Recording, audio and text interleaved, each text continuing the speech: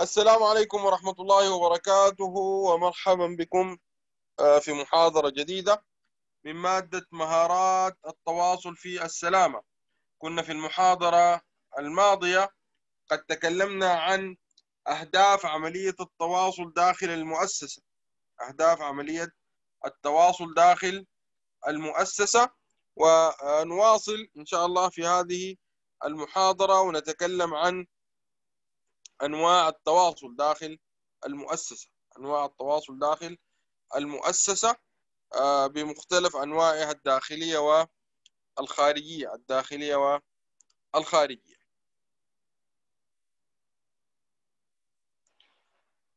تم تعريف الاتصال في المحاضرات الماضية.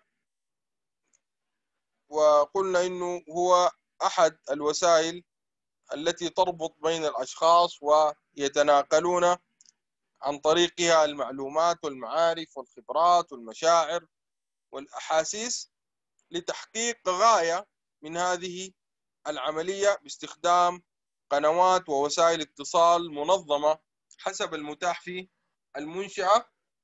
آه، بشرط أن يحقق هذا التواصل الهدف منه بين جميع العاملين في المنشأة بما فيهم الإدارة والقيادة العليا والعاملين والموردين والعملاء والجهات الخاصة والحكومية التي تتعامل معها المنشأة. وتنقسم في هذا الصدد قنوات الاتصال إلى عدة أشكال وأنواع منها ما هو داخلي ومنها ما هو خارجي. داخلي يعني داخل إطار المنشأة. الواحدة والخارجي هو تواصل المنشأة مع المنشآت الأخرى أو الأفراد الآخرين على حسب طبيعة العمل وطبيعة آه، المنطقة الجغرافية.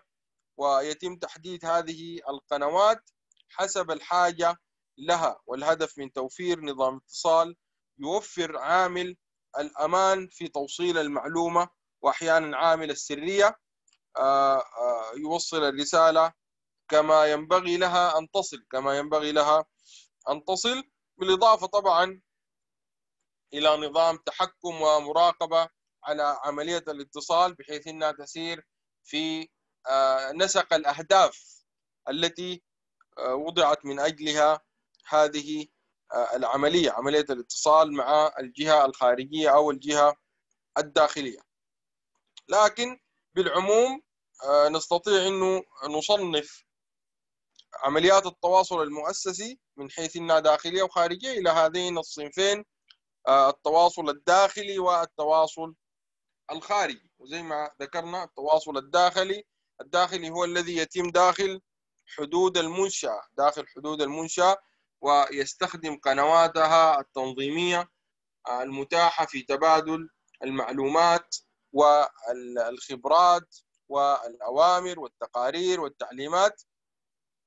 بين أجزاء المنشأة المكونة لها من إدارات وأقسام وأشخاص وعلى الرغم من أن هذا الاتصال يستخدم القنوات التنظيمية بأبعادها الثلاثة في إتمام الاتصال بعد الثلاثة المقصود اتجاه الأعلى من آه، المرؤوس إلى الرئيس أو اتجاه الأدنى من آه، الرئيس إلى المرؤوس أو الاتجاه الأفقي بين الزملاء الذين هم في نفس المرتبة المرتبة الوظيفية المرتبة الوظيفية. لكن آه، زيادة حجم المنشآت والضغوطات الضغوط العمل وارتفاع المستوى الثقافي والتعليمي وكل هذه الأمور تؤثر على تؤثر على فعالية عملية الاتصال سواء كانت رأسية أو أفقية أو أو كانت صاعدة آه، أو نازلة.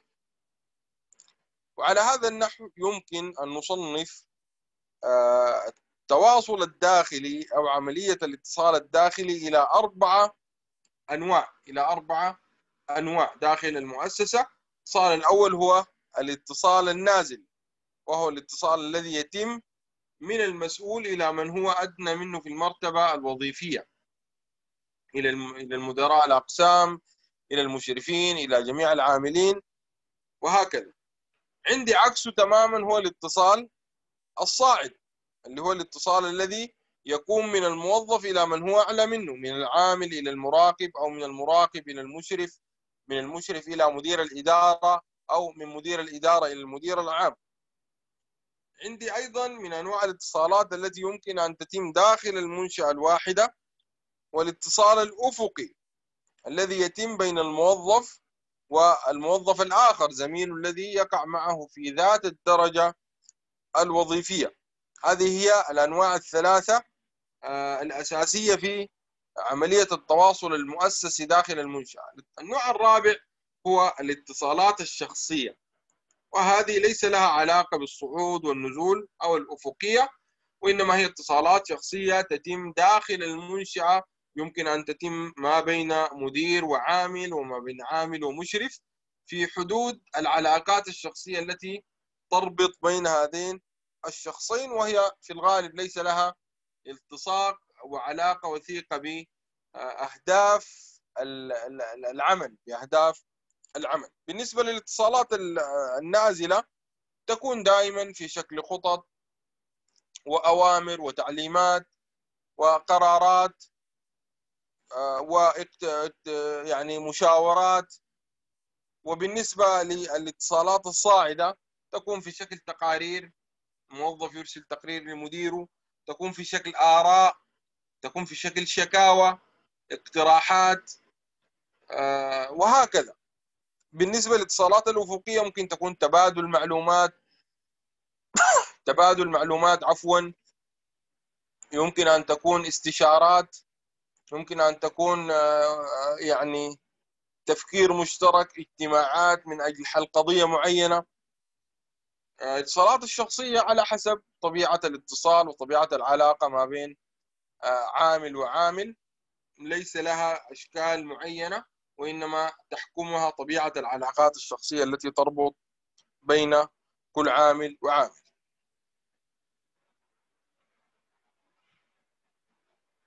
النوع الثاني من أنواع آه، الاتصالات المؤسسية داخل المنشأة هو الاتصالات الخارجية. وهذا النوع من الاتصالات يتم تبادل آه، المعلومات والوثائق والخبرات بين المنشأة والبيئة التي تعمل فيها. وتنقسم هذه الاتصالات إلى آه، اتصالات مع الموردين اتصالات مع الجمهور العملاء اتصالات مع الجهات الحكومية اتصال مع مؤسسات آه، شبيهة تعمل في نفس المجال.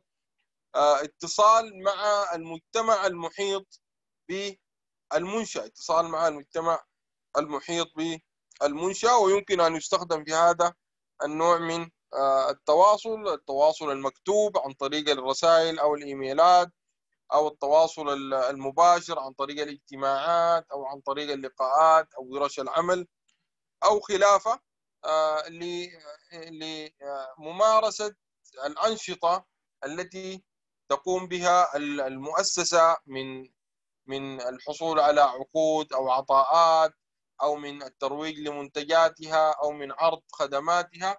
كل هذا يتم آه، التواصل بشأنه خارجيا أو لحضور مثلا آه، جلسات آه، جلسات في في في محكمة العمل خاصة بقضايا تخص العمال أو تخص آه، المؤسسة كل هذا من أنواع التواصل الخارجي كل هذا من أنواع التواصل الخارجي.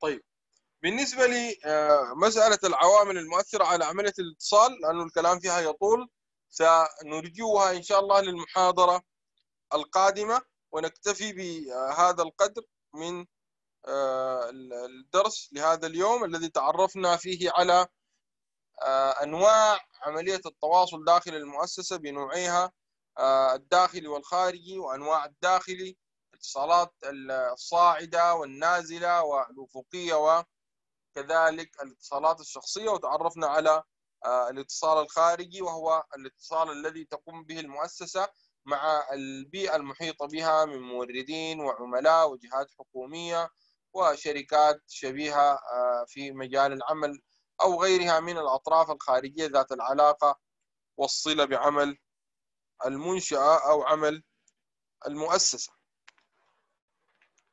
إذا كان في أي سؤال يا شباب أو أي استفسار قبل أن آه، أسألكم كما هي العادة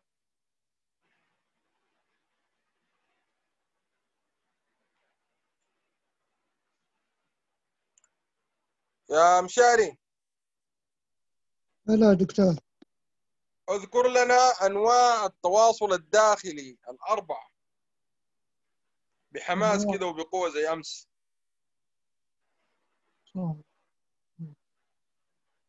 أنواع التواصل الأربعة؟ أيوة التواصل الداخلي قلنا عنده أربع أنواع أو أربع أشكال. التواصل الداخلي داخل المؤسسة. واحد الاتصالات النازلة. ممتاز. وهذه تكون من وين إلى وين؟ من المسؤول إلى من المسؤول آه، أيوة. إلى من هو أقل منه. تمام. واللي بعدها؟ اثنين الاتصالات الساعدة. من أيوة. الموظف من الموظف آه، من هو أعلى منه. تمام. ثلاثة الاتصالات الأفقية بين الموظفين في نفس الدرجة والوظيفة. تمام؟ أربعة الاتصالات الشخصية الاتصالات التي تكون وجها لوجه وجها لوجه. ممتاز ممتاز. طيب على ضوء هذا الكلام التقارير التقارير تنتمي إلى أي نوع من هذه الأنواع؟ تقارير؟ يا مشاري هلا. التقارير تبع أي نوع في هذه الأنواع؟ يعني أي وحدة النازلة ولا الصاعدة ولا الأفقية أيوة أيوة. آه، الصاعدة أيوة. صاعدة نعم؟ لأنها من مستوى أدنى إلى أعلى. طيب الأوامر الأوامر والتعليمات. ال- ال- الأفقية لا. ما في أحد يأمر زميله وإنما الأمر يجي من وين؟